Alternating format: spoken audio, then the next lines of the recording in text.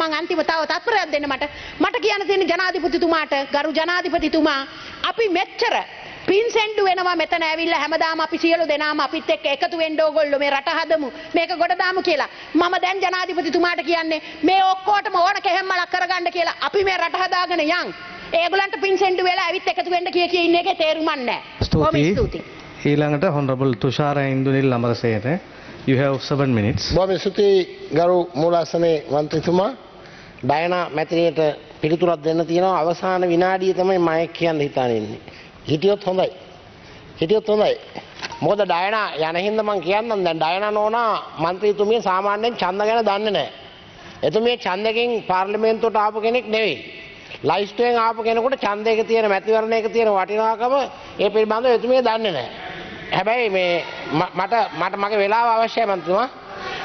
මොකද විනාඩි හොන්රබල් ඩයනා ගමගේ විනාඩි හතක් වගේ කෙටි කාලයක්. පාඩ කරු මන්ත්‍රීතුමා මම ඡන්දකින් එන්නේ නැති එක දීලා ඔතන වාඩි කරවපු හින්දා තමයි. අන්න ඒක හොඳට මතක තියාගන්න ඔබතුමා. හරිද? ඒක නැති කරන්නත් මට පුළුවන්. ඔතන ඉන්න හම්බෙන්නෙත් නෑ කාටවත්. අන්න ඒක මතක තියාගන්න ඔබතුමා.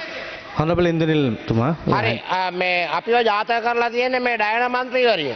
අනේ මම කරුණා කරලා කියනවා ඔය කට මර මේ කනේ ඉඳලා එහා පැත්ත කන ගාවට ඔය කට තිබුණට ඒ කතා කරන වචනවල වගකීමක් වටිනාකමක් ඇතුව කතා කරන්න කියන එක. එතකොට ඩයන නෝනා කියන හැටියට දැන් කඳුළු ගෑස් ගන්නත් සල්ලි ඉතුරු කර ගන්න ඕනේ. කඳුළු ගෑස් ගන්න සල්ලි එකතු කර ගන්න ඕනේ. එතකොට දැන් ඡන්දේ තිබ්බහම මේ රටට විදේශික සංචාරකයෝ එන්නේ නැහැ. අර පෙරලා තියෙන හෝටල් ටික හිස් වෙනවා. මේ මේ ඩයනා මන්ත්‍රීතුමියගේ තර්ක. ඒ පිරලා තියෙන හෝ- හෝටල් ටික හිස් වෙනවා. අ, එතකොට දැන් කුරුඳු පොළු කතාවක් කිව්වා. ගරු මන්ත්‍රීතුමිය කුරු ඔය ඔය ඔය පොල්ල ගැන අහගන්න රනිල් වික්‍රමසිංහ ජනාධිපතිතුමාගෙන්. මොකද ඔය කුරුඳු පොල්ල මම ගරු මන්ත්‍රීතුමිය කුරුඳු පොල්ල මේ රනිල් වික්‍රමසිංහ මහත්තයා භාවිතා කරපු පොල්ලක්. මේවා අපි භාවිතා කරපු පොල්ලක් නෙවෙයි. තමුන් ඔබතුමිය දන්නේ නැහැ. එතකොට අ, ඉතින් ඔවා කතා කරන්න ගියපුවාම